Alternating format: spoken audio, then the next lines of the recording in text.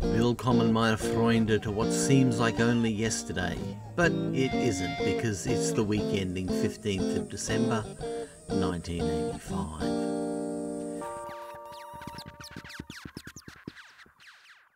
In at number 10 this week is Midge Ure, the main man from Ultravox and the other guy in Band Aid, with If I Was, which was up this week from number 12.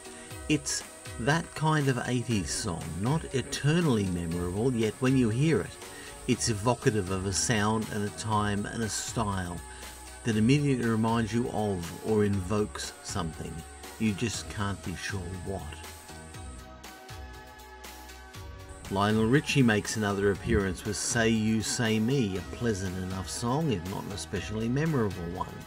Do you see a pattern developing yet? It peaked out at number 3 early in the new year, but the hit making juggernaut of Lionel Richie still had a few miles left in it after this one. The utterly unmemorable Hooters move up a place this week to number 8 with And We Danced.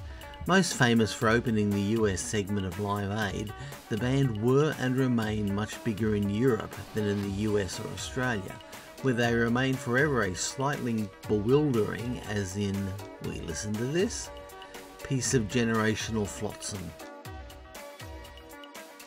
Two of the once great hopes of the post punk world meet at number seven, clearly disillusioned with the failure of New Wave to change the world, and instead aiming for the bland and inoffensive pabulum of the newly emerging corporate rock, they being UB40, who I once saw open to The Clash, and Chrissie Hynde with their cover of I Got You Babe. A number one in mid November, it would see out the year still in the top 10 before a vertiginous fall into a very occasionally heard jam on the oldies station. Number 6 is the beloved Australian hitmaker Jimmy Barnes, formerly of one of our most high reputation bands, Cold Chisel. In the last 37 years, Barnes has only ever released one album that didn't make the top three. And that one was 1999's Love and Fear, which was possibly the best of all of them. Here, he applies his shouty style to the title track of his second album, Working Class Man, in a song barely removed from its Americana roots. Nonetheless, the real glory here is Barnes's voice, all sledgehammer and no scalpel and raw and unabashed in its Aussiness. Here's a fact Aussiness isn't a word. Here are some more facts from the fantastic world of facts.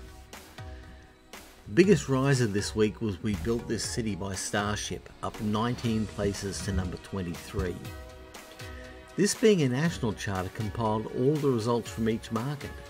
In my hometown, and I don't know what this says about my hometown, the song was already at number two. The fastest faller was by the astonishingly lovely and gifted Kate Bush, whose Running Up That Hill went running down the hill from 29 to 40, having peaked at number 6. The emeritus record on this week's chart was, at 15 weeks, the late Phyllis Nelson's wonderful Move Closer, a UK number 1 and having made it as high as number 15 on the local charts and the longest running album on the charts was Bruce Springsteen's Born in the USA, which celebrated 18 months on the charts this week, which just goes to show not only will some people buy anything, but they will buy it over an awfully long period of time. Number one in the USA this week was Broken Wings by two hit wonders Mr. Mister, and in the land of tea and crumpets, Whitney Houston's enjoyable Saving All My Love for You was in the first of its two weeks on top. Number one album in the old hometown was perennial favourite Brothers in Arms, somewhere in the middle of its 36 week run on top. Bopping funksters of Pseudo Echo on one of their nine top 40 hits, Don't Go, which tapped out at number 4. After breaking up in 1990, main man Brian Canham reformed the group in 2014 and since then they've been a staple at festivals, bringing the party in no uncertain terms every time. At number four, we have almost unbelievably the first appearance of Elton John in our little series.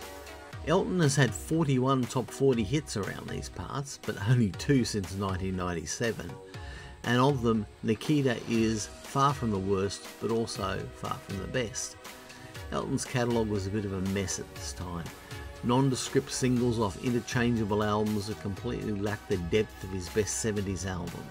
There's an argument that Blue Moves is the last truly great Elton John album, but I'd argue the classic run ends with Captain Fantastic, which was the last album the classic Elton John band played on until 1983. That said, Nikita, which made number 3 and featured a video directed by an obviously slumming Ken Russell, is an interesting song inasmuch as Nikita is a masculine name in Russia. I knew that marriage to a woman was a sham, Number three is an iconic song of the decade, Take On Me by a-ha from their excellent album Hunting High and Low. A song and sound so of its time, an, inc- an incredibly innovative and influential video, and music from Norway without growly vocals, the band never quite realised its potential outside Europe despite contributing the excellent theme song to the Bond film The Living Daylights. They still play and tour occasionally, and Hunting High and Low is a memorable artifact of their days of pomp. In it too, we have what was the first record ever to have debuted at number one on the local charts.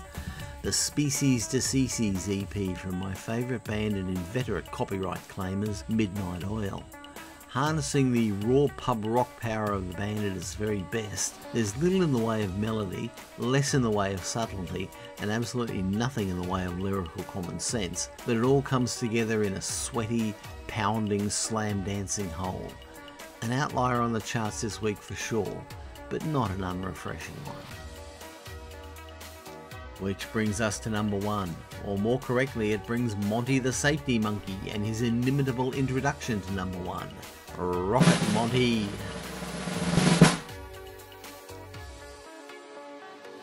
Jennifer Rush's The Power of Love is one of the least memorable number ones we've encountered so far in this series. Reclaiming top spot this week from Midnight Oil, only to lose it to them again next week and then reclaim it in the new year, this was a big, gaudy, splashy power ballad, the type which was to dominate the charts the next year. Curiously, Huey Lewis and the News also had a former number one called The Power of Love on the charts this week, and Frankie Goes to Hollywood also had a song called The Power of Love hovering around the lower regions. In what again suggests a pattern, Rush was a big star in Europe, but this was her one shot on the charts over here. The end of 1985 was a turning point for me in the radio.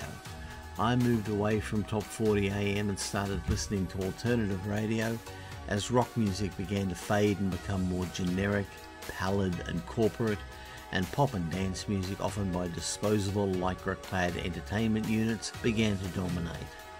But of that one shining moment at the end of 1985, we had a diverse, vibrant top 10, and thanks to the foreign country they call the past, we always, in one way or the other, will have it.